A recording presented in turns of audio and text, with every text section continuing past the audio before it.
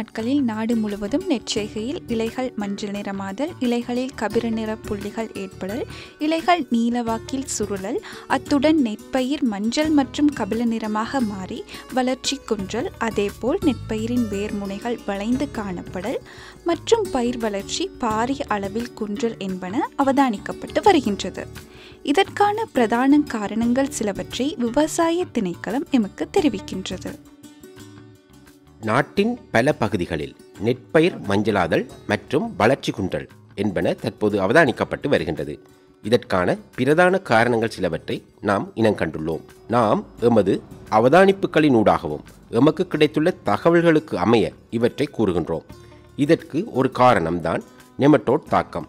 மற்றொரு காரணமாக நாம் பனிப்பூச்சியின் தாக்கத்தையும் பூசணை குறைபாட்டையும் இங்கு கூறலாம். காலம் தாழ்த்தி பயிர் செய்யப்பட்ட வயல் நிலங்களில் இவ்வாறான நோய் தாக்கங்கள் அதிகமாக ஏற்பட்டுள்ளன. அதையும் நாம் இங்கு கவனத்தில் கொள்ள வேண்டும். கடந்த காலங்களில் பெரும்பாலும் வானம் முகிலால் சூழப்பட்டு மந்தாரமான காலநிலையே காணப்பட்டது. அதுவும் இந்த நோய் தாக்கத்திற்கான காரணமாக அமையலாம். உண்மையில் சரியான காலத்தில் ஆரம்பத்திலேயே செய்கை பண்ணப்பட்ட வயல் நிலங்களில் இவ்வாறான நிலை அவதானிக்கப்படவில்லை. மிகவும் காலம் தாழ்த்தி செய்கை பண்ணப்பட்ட வயல் நிலங்களிலேயே இந்த தாக்கங்கள் அதிகமாக அவதானிக்கப்படுகின்றது. நெற்பயிர்ச்செய்கை மஞ்சள் நிறமாகி வளர்ச்சி குன்ற நெமட்டோடா தாக்கம் சில பிரதேசங்களில் பனிப்பூச்சியின் தாக்கம் சரியான காலத்தில் பசலை இடாமை தரமற்ற சேதன பசலை பாவனையினால் நெமட்டோடா தாக்கம் அதிகரித்தல் அதிகரித்த கபிலப்புள்ளி நோய் தாக்கம் என்பன காரணங்களாக அமைகின்றன. தற்போது கபில நிற புள்ளி நோய் தாக்கம் நாட்டின் பல பிரதேசங்களில் அவதானிக்கப்பட்டு வருகின்றது. இந்த தாக்கங்கள் அதிகமாக இனம் காணப்பட்டிருப்பது நாட்டின் தென்பகுதியிலாகும் அம்பாந்தோட்டை பிரதேசத்தில் இந்த தாக்கம் அதிகமாக இனம் காணப்பட்டுள்ளது. அது மாத்திரமல்லாது மேல் மாகாணத்திலும் இந்த தாக்கம் இனம் காணப்பட்டுள்ளது. அங்கு அதிகமாக நெமட்டோட் தாக்கம் இனம் காணப்பட்டுள்ளது. அது மாத்திரமல்லாது அனுராதபுரம் மாவட்டத்திலும் நொச்சியாகம ககட்டவில போன்ற பிரதேசங்களிலும் இந்த தாக்கம் இனம் காணப்பட்டுள்ளது. அதேபோல் திருகோணமலை அம்பாறை மட்டக்களப்பு மாவட்டங்களிலும் இந்த தாக்கம் இனம் காணப்பட்டுள்ளது.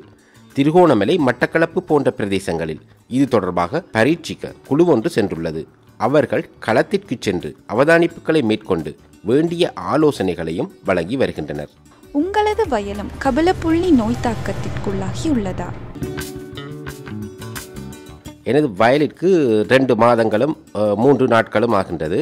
நான் இதற்கு யூரியா எம்ஓபி போன்ற பசலைகளை இட்டுள்ளேன். அத்தோடு கலை நாசினிகள் பீடை நாசினிகளையும் விலைக்கு வாங்கி விசிறியுள்ளேன். இருப்பினும் வயலின் வளர்ச்சி குறைவாகவே காணப்படுகின்றது.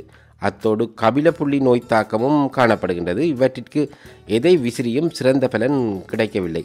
வயலின் வளர்ச்சியும் மிக குறைவாகவே காணப்படுகின்றது. நெற்பயிரில் கபில நிற புள்ளி நோய் விரைவாக பரவலடைய பிரதான காரணம்தான் மண்ணில் காணப்படும் போஷணை குறைபாடு. அத்தோடு நீர் பற்றாக்குறையினால் மண்ணில் ஏற்படும் பிரச்சினைகள். மற்றும் நெமட்டோடா தாக்கத்தினால் பயிரின் வேர்த்தொகுதி பாதிப்படைந்து போசனைகள் அகத்துறிஞ்ச முடியாமல் போதல் என்பனவாகும். கபலப்புள்ளி நோயை இனங்காண்பது எவ்வாறு? கபிலப்புள்ளி நோயை இனங்காண்பது எவ்வாறு? நெற்பயிரின் இலைகள் மஞ்சள் நிறமாதல் செம்மஞ்சள் நிறமாதல் அல்லது இலைகள் கடும் பச்சை நிறமாக மாறுதல். இலை நார்களுக்கிடையில் மஞ்சள் நிறமாதல். நெற்பயிரின் இளம் மற்றும் முதிர்ந்த இலைகள் கபில நிறமாகி காய்ந்து போதல். நெற்பயிரின் வேர்த்தொகுதி அளவு குறைதல் வேர்பகுதி கருப்பு நிறமாக மாறுதல். ரசாயனங்களை மட்டும் விசிறுவதால் வயலில் கபிலப்புள்ளி நோயை கட்டுப்படுத்த முடியாது. கபிலப்புள்ளி நோயை கட்டுப்படுத்துவது எவ்வாறு? பின்வரும் வழிகாட்டல்களை பின்பற்றுங்கள். மண்ணிற்கு சரியான முறையில் போஷணையை வழங்குங்கள். சரியான படிமுறைகளிற்கமைய உங்களது வயலில் மண் பரிசோதனையை மேற்கொள்ளுங்கள். வயலில் எவ்வாறு நெமட்டோடா தாக்கத்தை இனங்காண்பது? இந்த நெற்பயிரில் மஞ்சளாதல் செம்மஞ்சள் மற்றும் கபில நிறமாகி வளர்ச்சி குறைவடைந்து செல்ல பிரதான காரணம்தான் இந்த நெமட்டோட் தாக்கம். எமது நெற்பயிரின் வளர்ச்சி பெருமளவு குறைந்து அதாவது இரண்டு மாத வயதுள்ள நெற்பயிர் இதுபோன்று ரெண்டு வார பயிர் போன்று காணப்பட்டால் இதுபோன்று மஞ்சள் மற்றும் செம்மஞ்சள் நிறமாக காணப்பட்டால் இதற்கு பிரதான காரணமாக எமக்கு வேர் தொகுதியில் நெமட்டோட் தாக்கத்தை குறிப்பிட முடியும். உங்களது நெற்பயிர் மஞ்சள் மற்றும் கபில நிறமாக மாறி வளர்ச்சி குறைவடைந்து காணப்படுகின்றதா? அதே போன்று நெற்பயிர் வளர்ச்சியடையாமல் இருக்கின்றதா? நெற்பயிரின் வேர்த்தொகுதி பாதிப்படையாதவாறு பிடுங்கி வேர்த்தொகுதியை நன்கு கழுவி அவதானிக்கும் போது வேர்முனைகள் கொக்கி போன்று வளைந்து காணப்படுகின்றதா? அவ்வாறு காணப்பட்டால் உங்கள் வயல் நெமட்டோடா தாக்கத்திற்குள்ளாகியுள்ளது. அவ்வாறான சந்தர்ப்பத்தில் நாம் இது நெமட்டோட் தாக்கம் தானா என முன்னர் கூறியதைப் போன்று தாவரத்தை பிடுங்கி அதன் வேர்முனைகளை அவதானித்து தாக்கத்தை உறுதி செய்த பின்னரே நாம் விவசாய ரசாயனங்களை விசிற வேண்டும். இதுபோன்று கொக்கிகள் போன்று வளைந்த முனைகள் அதிகமாக காணப்பட்டால் இது போன்ற முனைகள் காணப்பட்டால் எமக்கு உறுதியாக இதில் நெமட்டோட் உள்ளது என கூற முடியும். அது தாவரத்திலிருந்து போசணியை பெற்றுக்கொள்வதுடன் அவை குறித்த சுரப்புகளை வெளியிடுவதால் இது போன்ற கொக்கிகள் போன்ற அமைப்பு உருவாகும். இந்த தாவரம் இவ்வாறு தாக்கத்திற்குள்ளாகி இருக்கும் போது அதற்கு நாம் போசனையை வழங்கினாலும் அதனால் அவற்றை அகத்துறிஞ்ச முடியாது. அதனால் தாவரம் நாளடைவில் வளர்ச்சி குன்றி நலிவடையும். இதற்காக பின்வரும் கட்டுப்பாட்டு நடவடிக்கைகளை மேற்கொள்ளுங்கள். வயற்துண்டங்களுக்கு வெவ்வேறாக நீர் பாய்ச்சுங்கள். விவசாய உபகரணங்களை ஒரு வயற்துண்டத்தில் இருந்து இன்னொரு துண்டத்திற்கு எடுத்துச் செல்லும் போது நன்கு சுத்தப்படுத்தி கொண்டு செல்லுங்கள். முதலாவதாக இவ்வாறானதொரு நிலை ஏற்பட காரணமாக இருந்த காரணியை நாம் அகற்ற வேண்டும். அவ்வாறு இல்லாமல் பசலை இடுவதன் மூலம் இந்த பிரச்சனைக்கான சிறந்த தீர்வை நாம் பெற்றுக்கொள்ள முடியாது. காரணம் இவ்வாறு காணப்படும் போது வேர்த்தொகுதியினால் போசனையை அகத்துறிஞ்ச முடியாது. அதனால் நாம் முதலில் இதனையே சரி செய்ய வேண்டும். இந்த போகத்தில் நாம் செய்யக்கூடிய சிறந்த நடவடிக்கை தான் நெமட்டோட் தாக்கம் தானா என சரியான முறையில் இனங்கண்டு கொண்டு சரியான கட்டுப்படுத்தல் நடவடிக்கைகளை மேற்கொள்ள வேண்டும். வரும் போகத்தில் ரசாயனங்களின் பாவனை இன்றி இந்த நோய் தாக்கங்களை கட்டுப்படுத்த வத்தலகுட நெல்லாராய்ச்சி மற்றும் அபிவிருத்தி நிறுவனம் சில வழிகாட்டல்களை வழங்கியுள்ளது. அவற்றை சரியான முறையில் பின்பற்றி இதுபோன்ற தாக்கங்களை ரசாயனங்கள் இன்றி கட்டுப்படுத்த முயற்சிப்போம். அதனால் நாம் அனைவரும் ஒன்றாக இணைந்து இவ்வாறான சவால்களை சரியான முறையில் இனங்கண்டு அவற்றிற்கான சரியான கட்டுப்படுத்தல்களை மேற்கொண்டு அவற்றை கட்டுப்படுத்துவோம். வரும் போகங்களிலும் சரியான வழிகாட்டல்களை பின்பற்றி நில பண்படுத்தல் தொடக்கம் அவதானமாக இருந்து இவ்வாறான தாக்கங்கள் ஏற்படுவதை தடுத்துக் கொள்வோம். அதனால் எமது விவசாயிகள் அனைவருக்கும் இது தொடர்பாக அவதானமாக இருக்குமாறு கேட்டுக்கொள்கின்றோம் உங்களுக்கு இந்த நோய் தாக்கம் பற்றி ஏதேனும் சந்தேகங்கள் காணப்பட்டால் உங்கள் பிரதேச விவசாய போதனாசிரியரை தொடர்பு கொண்டு சரியான வழிகாட்டல்களை பின்பற்றுங்கள்.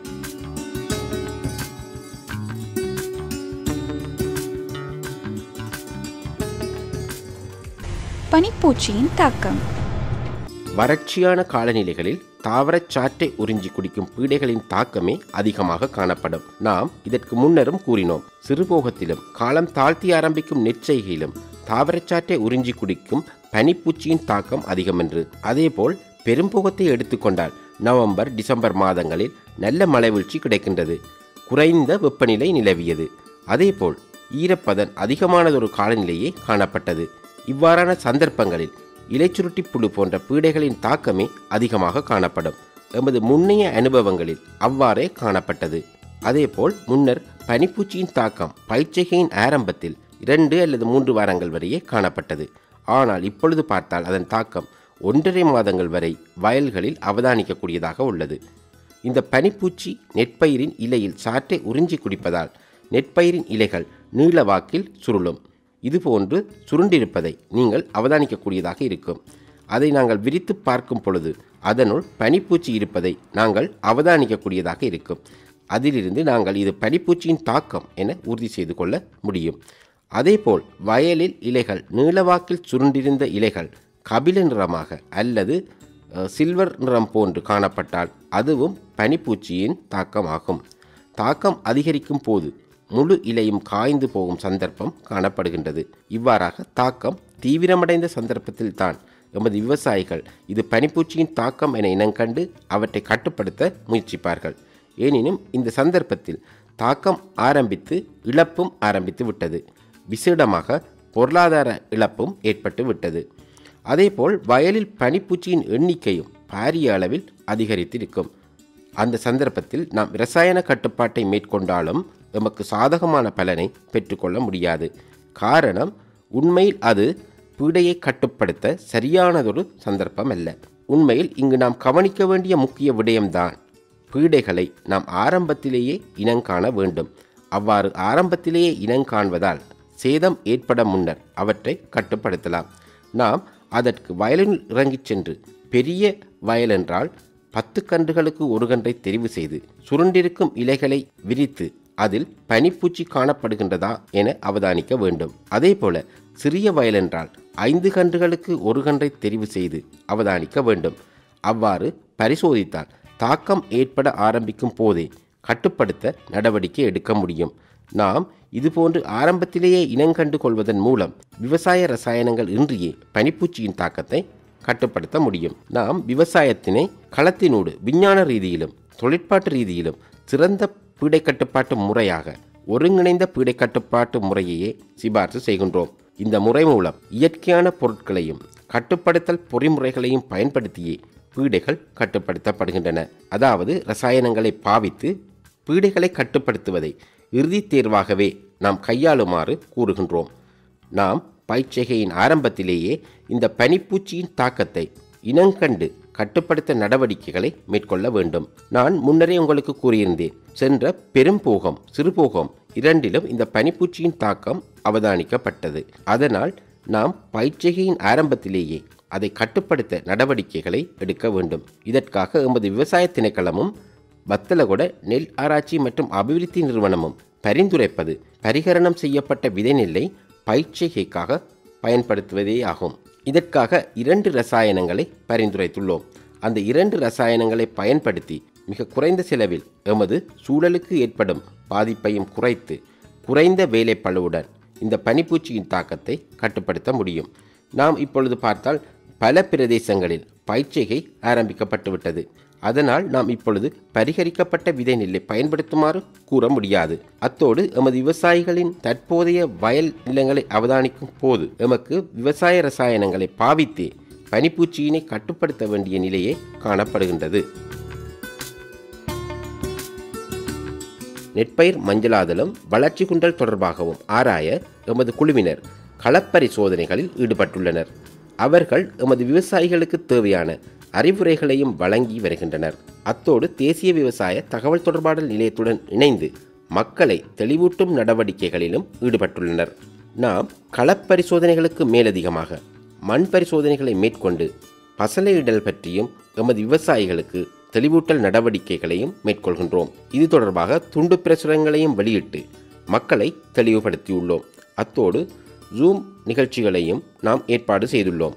நாம் இதுபோன்ற தெளிவுபடுத்தல்கள் மூலம் இந்த தாக்கங்களை ஓரளவு கட்டுப்பாட்டுக்குள் கொண்டு வர முடியும் என நம்புகின்றோம்.